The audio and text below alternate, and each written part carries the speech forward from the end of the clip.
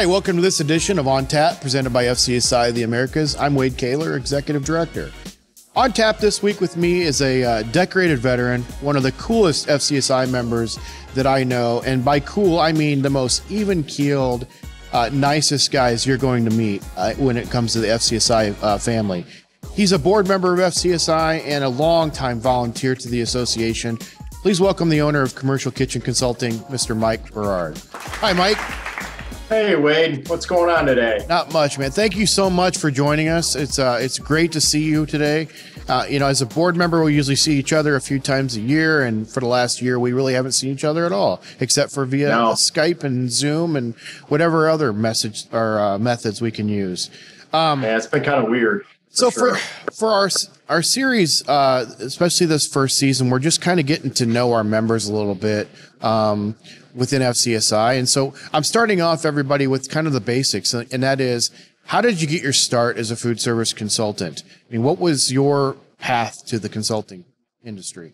Well, I uh, I ended up earning a uh, an associate's degree in construction technology, and one of the courses that I really loved was architectural drafting. Back then, there wasn't CAD or anything, and so I ended up getting a job at the University of Binghamton as an architectural draftman. And about two years into it, it wasn't a permanent job. It was it was a state job, but it was a, part time, um, not a full position job. And I heard about a small mom and pop dealership, um, and they had an opening for a draftsman. So I left this state job to go to work for a small mom and pop dealership, and actually started rolling a pencil within first week on a huge IBM project that was about a million, 1.1 million dollars, and this was in 1984. Oh wow! So that was a pretty good sized job for 1984. yeah, And I just kind of fell in love with the industry and and the people, and um, that was really kind of my start. And you know, that was you know 36 what years ago, and uh, still still cranking it out. oh, that's awesome. Uh, especially when you get to start with something that big.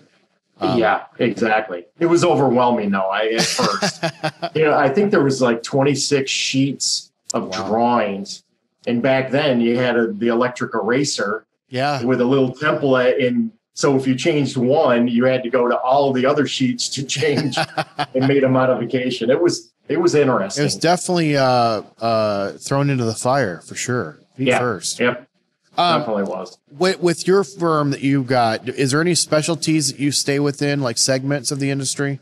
Well, um, I'm a service disabled veteran, so we're set up as a service disabled veteran owned small business. Okay. uh, both through CVE, which is the federal government. Um, we're under New York State and applying for Pennsylvania right now. Um, with that, it allows us to, there are some set aside, uh, with SDVOSB set aside projects with the VA that we team with other architects and engineers that are SDVOSB, have an SDVOSB status. And, um, and we team up with them. Um, with respect to other projects and things, I, we, we generally do a lot of healthcare, design a lot of healthcare projects. Um, K through 12 is pretty steady right now, but I like doing unusual projects, you know, because it, you get caught in the, it's not cookie cutter, but it, you get caught in the, the same thing kind of over and over and over with, with a, like a typical K through 12 school. Um, so we like to do different projects, um, Okay. one of which we, it appears that we're going to be in the um, FCSI's uh, project showcase uh, this year. Uh, we've been awarded the uh, one, you know, our, our project was awarded to be um, or selected to be in it. Sure. And um, it happened to be Green Star. It's kind of a co op grocery store chain in Ithaca, New York. Nice. Um, really cool project where we've got um, a lot of the marketing there was done by a company in Washington, and they really brought a, a, a home feel to the store where they had a lot of local people, um, photos of a lot of local people in the uh, local markets and waterfalls, and it was really it's kind of a cool concept. But nice.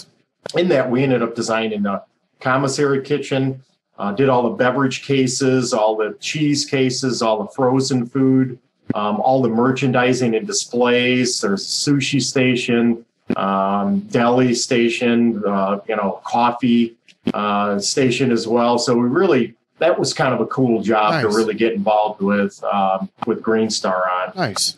What did your experience in, in your military uh, background teach you about food service? Really, you know, attention to detail. I think was the was the biggest thing. Um, one thing about food service, it's it's an assembly. You know that the whole space you have to organize. You have to really sit down and talk to the end user and and find out what their concept is, and then try to blend the equipment in the space into their concept.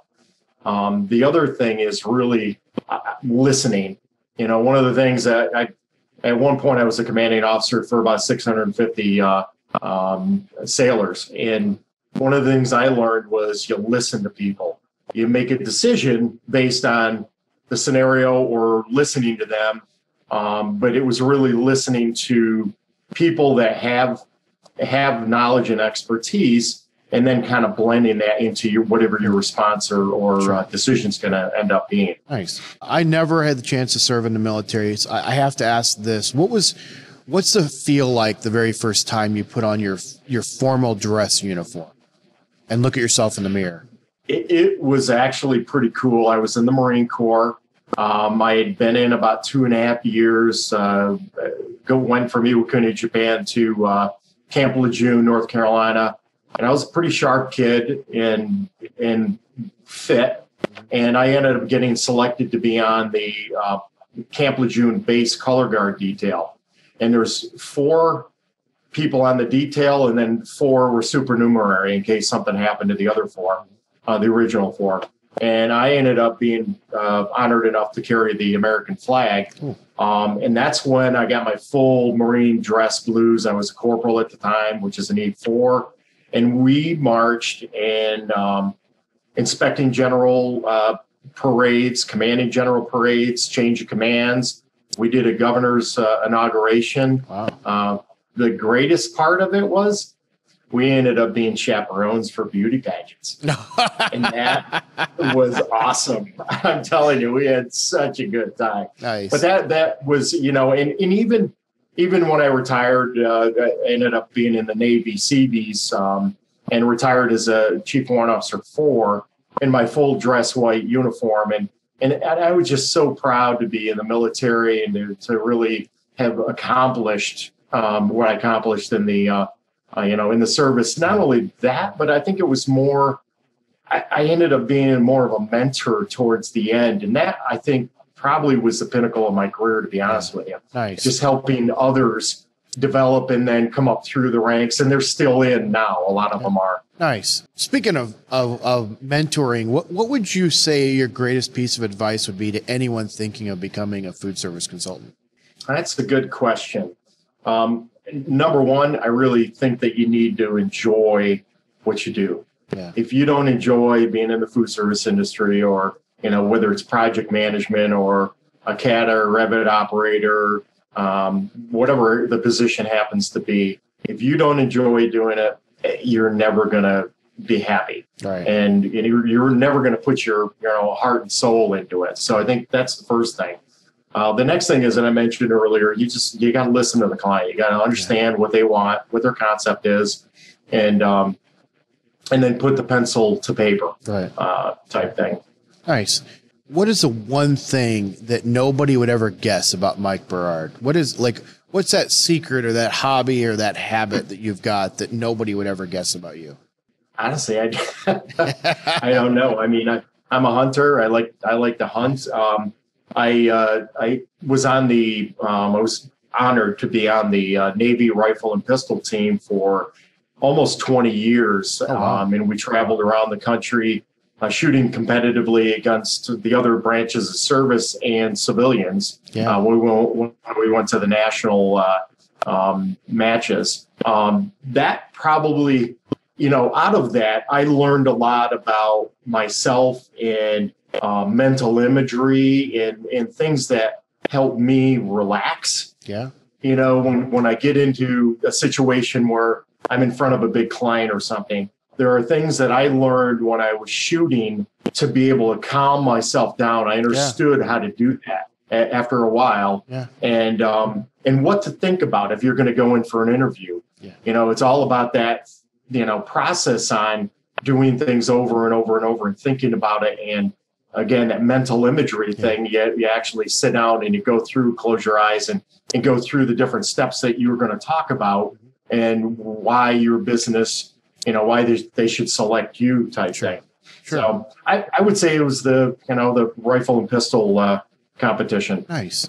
Well, that's all the questions I've got, uh, the formal questions, that is. But I, I do like to end every interview with something uh, a little fun. Um, so I've gone through and created a uh, set of questions based on the Would You Rather game. And so if you're game, I'd like to go through some of these questions to find out what Mike's personality looks like. sure You ready? go for it All right. Would you rather be covered in snakes or bees? bees without a doubt You'd rather be able to sing or be able to dance? I can't do either but i'll dance first Would you rather own a restaurant or own a dollar store? Um, probably a dollar store. Would you rather give up TV for a year or give up the internet for a year? TV. Would you rather be able to teleport anywhere in the world or be able to read minds? I would like to read minds. Not sure I want to hear what the mind has to say, but I, I Yeah. would, I'd like to read minds. Have all the traffic lights you approach turn green or never have to stand in line again? Wait, I'm colorblind, so I may or may not see a green light, stoplight. That stoplight is just one light to me. I'm good to go. Very yeah, yeah, exactly. Would you rather see your future or fix your past? um, I have no regrets about my past. All right. I would rather see my future. All right. Would you rather have unlimited first class plane tickets or never have to pay for food at restaurants? I would rather have unlimited plane re- reservations. Would you rather only be able to use a fork and no spoon or use a spoon and no fork for the rest of your life? I would rather use my hands. I love that. I do that a lot. I can't wait to watch you eat soup with your hands. yeah. Uh, Yeah. Would you rather be an unknown superhero or a famous villain? Um, probably an unknown superhuman or superhero. Would you rather fight a duck the size of a horse or fight 100 horses the size of ducks? Uh, one duck. One duck? I'll take a duck on. Very good. That's it I've got for you today, Mike. How can people find out more about you? They can uh, they can uh, email me. Uh, it's m berard b e r a r d at ckc hyphen llc dot net, or just give me a call. Okay, perfect. Well, thanks, Mike. I really appreciate the time today. It was a lot of fun seeing you. And uh, again, I hope to get to see you again in person here very soon. Roger that. Thanks, Wade. Appreciate it. Have a great day. You too. Well, that wraps up another edition of On Tap presented by FCSI. If you enjoyed today's episode, help us get the word out. Make sure to like and subscribe to the channel.